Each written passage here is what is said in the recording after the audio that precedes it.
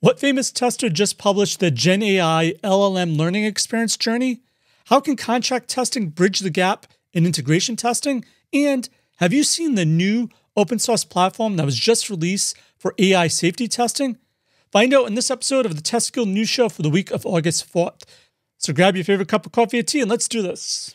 Before we get into it, if you haven't already, make sure to subscribe to our Test Guild LinkedIn News Show newsletter that I have a link for down below to never miss another episode. First up is a Gen AI LLM learning journey. So, in this blog post by the renowned agile tester Lisa Crispin, discusses the growing impact of generative AI and large language models on software testing. In this post, Lisa really emphasizes how these technologies are helping testers by automating mundane tasks and generating valuable insights. She also highlights the importance of continuous learning and adaptability for testers to leveraging these advancements effectively.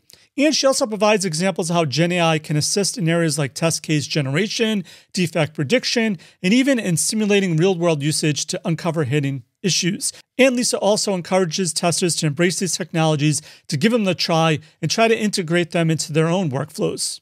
However, this post also cautions over the over reliance on these tools and stresses the need for human oversight to ensure quality and reliability. But I think the key takeaway, as Lisa points out, is to embrace these technologies while maintaining a critical eye to ensure the quality and reliability of their outcomes. So thank you, Lisa, for this post. And to learn more, you can check out more about it down below. So, how can contract testing help you with integration tests? Well, let's check out this latest post by Boz all about contract testing and how it has emerged as a critical approach with integration testing. And so this post goes over how contract testing provides an efficient and robust method to validate the interactions between different services. And it also goes over how, as microservice architecture becomes more and more the norm, how traditional integration testing is really falling short to provide coverage for these types of tests. So he goes over how contract testing addresses these issues by defining and enforcing clear contracts between services,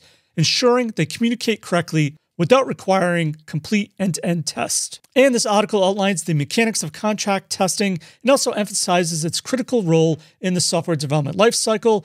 And by validating interactions at the micro level, developers can catch errors earlier, reducing costly fixes later in the pipeline. And he also points out how contract testing also supports parallel development streams by decoupling service dependencies and enhancing productivity. Definitely another must read by Boz. You could check that out down below.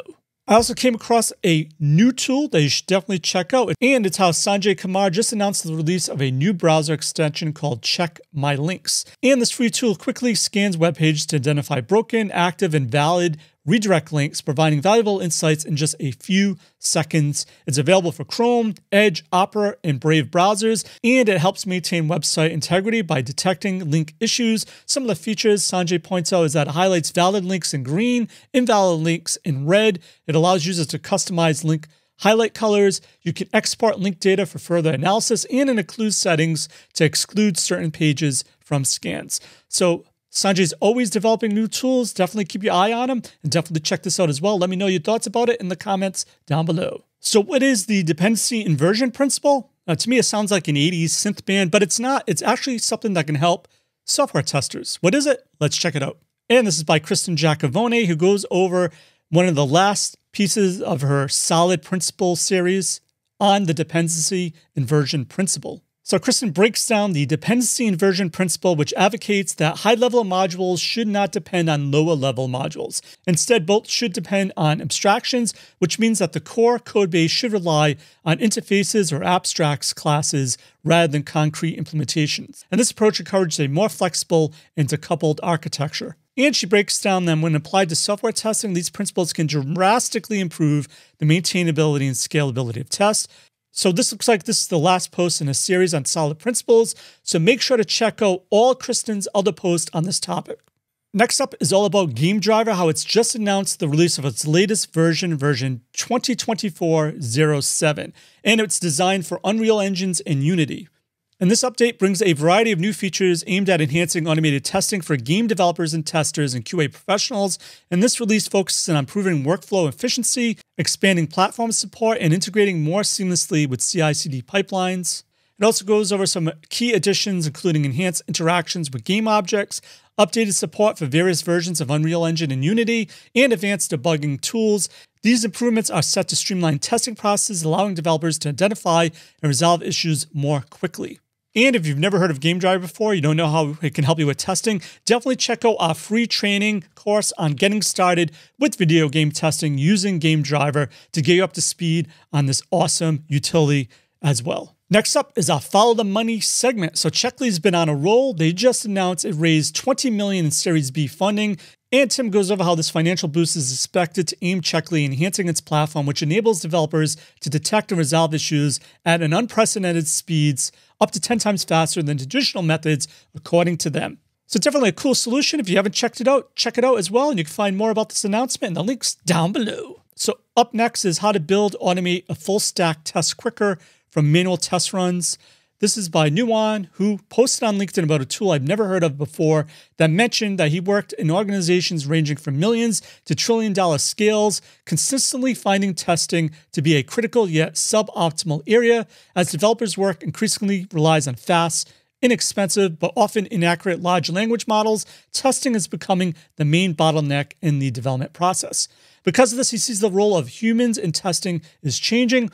And while some advocate for fully AI driven testing, a more practical approach involves human guiding the process through the exploration and insights, while AI handles the repetitive tasks like automating and scaling. And then that's where he mentions the tool I never heard of before. He points to Test Chimp. And this tool that he points to is an example of what he thinks is a balanced approach which combines human intuition and creativity with AI efficiencies. And this platform's goal is to create seamless integration of human and AI testing efforts in the testing process. Never heard of it before, but definitely, if you have, let me know your thoughts on it in the comments. So, this next article is all about observability and it's all about synthetic monitoring with open telemetry. So, I've noticed over the years that observability has become more and more critical as a component to ensure robust and efficient systems. So, a recent pivotal development in this field is the integration of synthetic monitoring techniques with OpenTelemetry, which is an open source project providing a unified set of APIs, libraries, and agents and instrumentation to collect distributed traces and metrics. And this post goes over why maintaining optimal performance and reliability of software is critical. One innovative approach gaining traction is the use of synthetic monitoring combined with the powerful capabilities of OpenTelemetry. So Synthetic monitoring, which involves simulating user interactions and transactions to test application performance, is being seen as a cool way to use OpenTelemetry's flexible open source tools. And what's great about this approach is that it enables organizations to preemptively detect performance issues and outages in their software, ensuring a superior user experience. And this approach provides a proactive layer of observability, allowing teams to understand system behaviors under predefined conditions without waiting for real users to encounter problems. So I think this is an invaluable asset for diagnosing and resolving potential bottlenecks that every tester should learn about, and you can find out more about it in the links down below. And with all this talk around AI, I found an open source platform which is designed to enhance the safety testing of artificial intelligence systems. And this is by the National Institute of Standards and Technology, has announced the release of an open source platform designed to enhance the safety testing of AI systems. This new initiative aims to provide a standardized method for evaluating AI technologies, ensuring that they function reliably and are free from biases. And by creating this platform, NIST seeks to offer developers, researchers, and policymakers tools to assess the safety and effectiveness of AI applications comprehensively. And this tool, which I think is called Dioptra, is an open source web based tool which was first released in 2022 that they've added on to, which seeks to help companies train AI models and people using these models to assess, analyze, and track AI risk. And this framework also includes a suite of testing tools and frameworks to help you test AI systems. And these tools are geared towards identifying potential vulnerabilities, ensuring that AI technologies comply with established safety standards. So, if you're a tester, you definitely should leverage these new tools to identify and mitigate risk ensuring that AI applications you're developing are both secure and unbiased. All right, for links of everything of value we covered in this news episode, head on over to all those links in that first comment down below. So that's it for this episode of the Test Guild News Show. I'm Joe. My mission is to help you succeed in creating end-to-end full stack pipeline automation awesomeness. As always, test everything and keep the good. Cheers.